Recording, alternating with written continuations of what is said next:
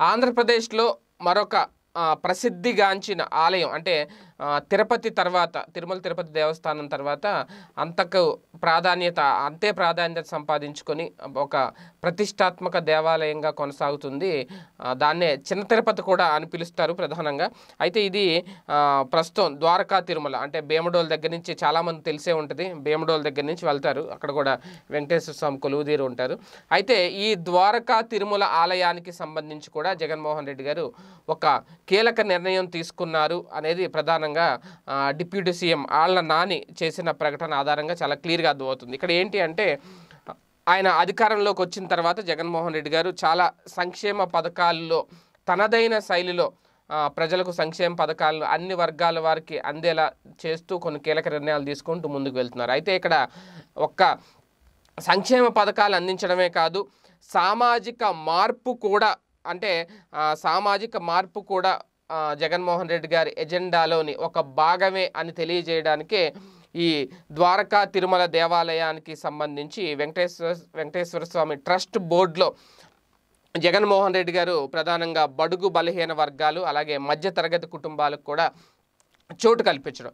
ఇదే విషయాన్ని ఆళ్ళ నాని చాలా క్లియర్గా చెప్పారు. వాస్తవానికి ప పశ్చిమ గోదావరి జిల్లాలో ఉన్న ఈ ద్వారకా తిరుమల పుణ్యక్షేత్రం ఏదైతే ఉందో దీన్ని మొదటి నుంచి చిన్న తిరుపతిగా కూడా భక్తులు పిలుచుకుంటారు. అంటే తిరుపతి వరకు వెళ్ళలేని భక్తులు చాలామంది ఇక్కడ చిన్న తిరుపతిలో మొక్కులు తీర్చుకుంటూ ఉంటారు. అది ఆనవాయితీగా వస్తుంది చాలా కాలం నుంచి. అయితే ఈ ద్వారకా తిరుమల శ్రీ వెంకటేశ్వర స్వామి దేవస్థానం నూతన పాలక మండలి సభ్యుల ప్రమాణ స్వీకారం పూర్తయింది. ఇందులో మొత్తం పదహారు మంది సభ్యులతో దేవస్థాన పాలక మండలి ఏర్పాటైంది. అంటే పాలక మండలి సభ్యులతో ఉప ముఖ్యమంత్రి ఆళ్ళ నాని ప్రమాణ స్వీకారం కూడా చేయించి ఆ తర్వాత ఆయన కొన్ని విషయాలను బయటపెట్టారు అంటే హిందూ సాంప్రదాయాలను కాపాడుతూ ఎటువంటి వివక్ష లేకుండా ప్రజలందరికీ ఆ, దేవుడి ఆశీస్సులు అందించాలి అనే ఉద్దేశంతో జగన్మోహన్ రెడ్డి గారు ముఖ్యమంత్రి జగన్మోహన్ రెడ్డి గారు ద్వారకా తిరుమల నూతన పాలక మండలి ట్రస్ట్ ఏర్పాటు చేశారని చెప్పి ఆళ్ళ నాని గారు చెప్పడం.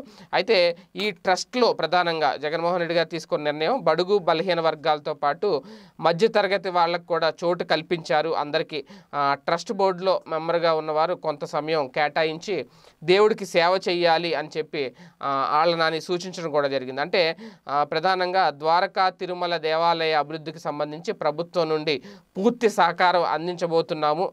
అందులో ఎలాంటి ఉద్దేశం లేదు. పూర్తిగా ఆలయ అభివృద్ధికి సంబంధించి ప్రభుత్వం భవిష్యత్తులో చాలా కీలక నిర్ణయాలు తీసుకుంటుంది. అని ఒక భరోసా కూడా ఇచ్చారు ఆలయ ట్రస్ట్కి.